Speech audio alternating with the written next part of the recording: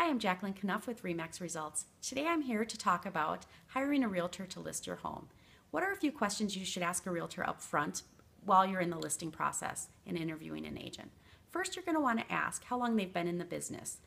Um, you're looking for a number of years, possibly number of transactions, and their experience. So that's what that question is getting at. Secondly, are they a full time agent? Do they have time to devote to your transaction? And are they serious about the business or is it a side hobby? Third, are they on some kind of team or are there other people you're going to interact with if you list the property with them?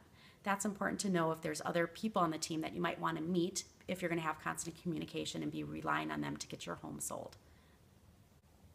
Another great question is Does the realtor have experience in your area, in your neighborhood, your price range, and the type of property that you have to sell?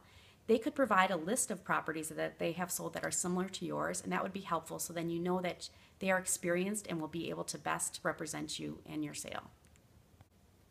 Another question that would be good to ask a realtor you're interviewing to sell your home is do they have a marketing plan and something in writing to get your home sold? So you'll want to ask if they have maybe a step by step schedule for you to look at or if they can give you some kind of guarantee about their sale. The last consideration when choosing your realtor or interviewing for a position is their communication style and personality.